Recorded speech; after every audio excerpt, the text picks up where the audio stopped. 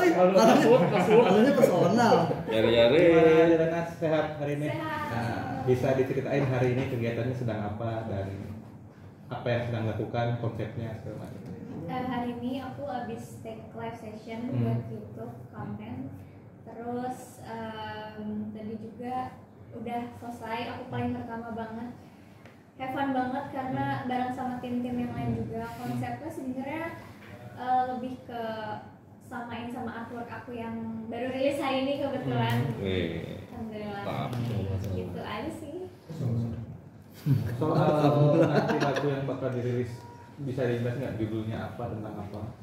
Oke, jadi judulnya itu Bulan Penuh. Hmm. Ini tuh menceritakan. Ini sebelumnya diciptain sama Kak Iqbal Siregar.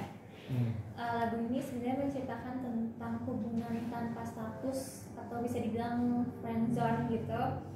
Jadi memang sebenarnya dari sisi eh, si perempuan ini memang kebingungan dengan hubungan ini, tapi memang sebenarnya nggak ada komitmen sama sekali gitu sih lagunya. Kurang lebih. Pengalaman pribadi kah atau seperti apa? Ya, Pengalaman pribadi atau seperti apa? kebetulan ini gak ada pengalaman pribadi cuman kan namanya eh, aku harus aku nyanyiin lagu ini jadi aku harus bisa masuk ke dalam lagunya nikmatin dan eh, harus bisa relate juga sama lagu ini gitu Kalau nggak ada pengalaman pribadi gimana cara relate ke? Iya, nggak? aku lebih ke gimana ya kalau misalnya nggak relate tuh aku coba buat relate relatein aja sih kayak aku mencoba ada di posisi itu berimajinasi ada di posisi itu jadi ketika misalnya aku lagi nyanyiin lagu ini aku tahu rasanya tuh kayak gimana atau mungkin aku langsung nanya ke yang ciptain lagunya atau mungkin teman-teman aku yang pernah kayak gini aku tanya gimana posisinya pas lagi kayak gini rasanya tuh apa. Itu biasanya eh, aku sangkut paut aku sangkut pautin sama pas lagi nyanyi gitu. Gitu aja sih. Gitu gitu aja sih. Jadi lagunya Mas Iqbal udah jadi atau ketemu kamu dulu baru uh, dibuat lagunya seperti itu. Iya, jadi lagunya sebenarnya demonya tuh dari Masker kok ANR dari Sound Music. Dan itu tuh memang pada saat itu baru setengah banget gitu loh setengah banget lagunya. Jadi aku nggak tahu banget sampai fullnya tuh kayak gimana. Cuman pas awal denger intronya tuh intronya udah jadi gitu loh.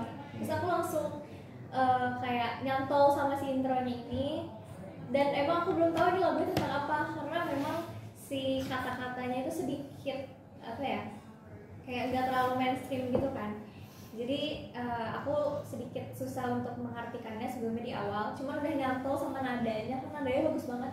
Jadi aku langsung ngambil lagu ini. Terus kebetulan memang dari tim juga udah sepakat eh, buat aku nyanyi lagunya sama Kak Iqbal juga.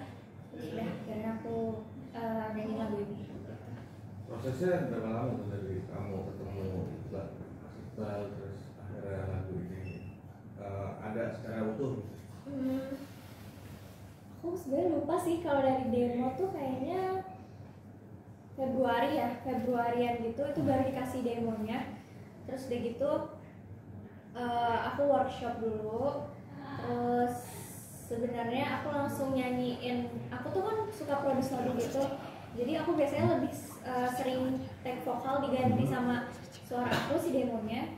Jadi langsung aku kasihin ke tim terus baru disetujuin aku bisa nyanyi lagu ini terus langsung take vokal aja sih kalau untuk sampai ke finalnya itu apa ya kurang lebih kayak sebulanan sebulanan Kenapa bulan penuh nggak bulan sabit deh?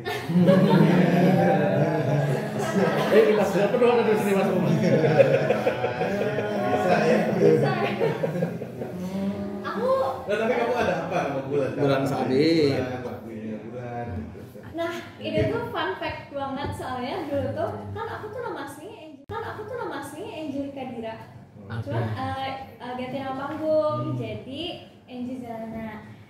Zelana itu aku ambil dari Dewi Bulan. Itu tuh artinya Dewi Bulan. Nah, kebetulan memang pas aku rilis ini eh, udah udah ngobrol-ngobrol semuanya sama tim ternyata memang cocoknya judulnya bulan penuh karena arti bulan penuh kan bulan purnama.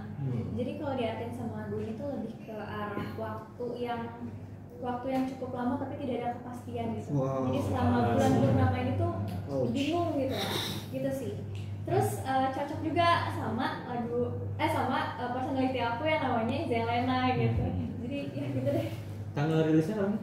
hari ini. Hari ini? tanggal berapa? 24 24. 24 Kalau dari tadi kan secara liriknya, kalau secara musikalitasnya gimana sih kok kamu Eh, lagu ini. Nah, itu tuh dari awal banget kan aku suka banget sama intronya. Menurut aku ini progressive chordnya bagus banget. Em, kalau misalnya aku nyanyiin as a songwriter atau as a musician gitu eh, menurut aku ini lagunya gak terlalu yang gampang juga tapi gak susah juga. Cuman ketika misalnya nyanyiin live itu kan progressive chordnya tuh lumayan lumayan ribet gitu ya. Jadi em, butuh effort dan apa ya butuh buat masuk ke dalam lagunya gitu loh. Jadi ketika aku nikmatin lagunya tuh nadanya tuh bisa jadi mengalun aja gitu. Jadi menurut aku keren banget sih nadanya yang dibikin kayak gitu. Apa yang apa kalau orang nanti dengar apa yang kamu harapkan responnya itu Em, aku sebenarnya lebih ke arah pengen audiens tuh nggak relate aja sebenarnya aku pengen banyak yang relate sama lagu ini cuman kan kita tidak bisa memaksakan relate ya. Jadi lebih ke semoga mereka bisa enjoy sama lagu ini menikmati nadanya seperti yang aku rasakan pada saat awal ngedenger lagu ini kan ya. Sangat-sangat suka suka banget sama nadanya nyantol gitu. Terus Tadi lagu-lagu galau gitu ya?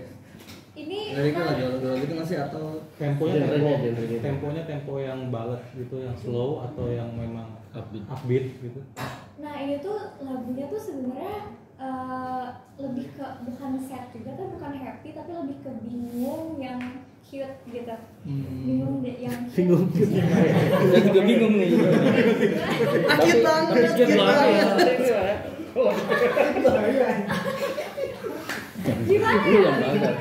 Ya pokoknya gitu. Aku ini Tapi nadanya nadanya dari segi nada dari segi temponya gitu maksudnya yang Iya, lambat iya. galau ballad gitu atau yang Ini upbeat sebenarnya ballad. ballad. Ballad tapi memang ada sengaja dibikin ada upbeat. Langsung ngomong.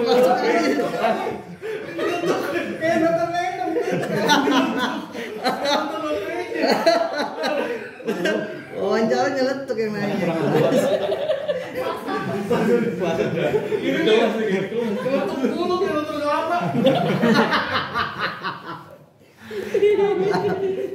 Ya lanjut lanjut lanjut lanjut. Lanjut lanjut lagi lagi baik terakhir mungkin. Oke. oke ini apa kamu kan produser Iya. apa ini ada keinginan nggak sesuatu nanti yang benar-benar tuh ya ini nunjukin diri kamu gitu loh apa yang dihasilkan ya itu karya kamu. Sebenarnya pengen Kamu tuh sendiri gitu. pengen pengen banget. Eh, aku kan udah lama indie juga dari 2015an terus eh, pengennya sih sama Sony juga biar bisa bikin karya bareng-bareng workshop bareng. Terus aku juga kebetulan eh, masih ada 40 draft lagu aku sendiri. Yang belum keluar jadi semoga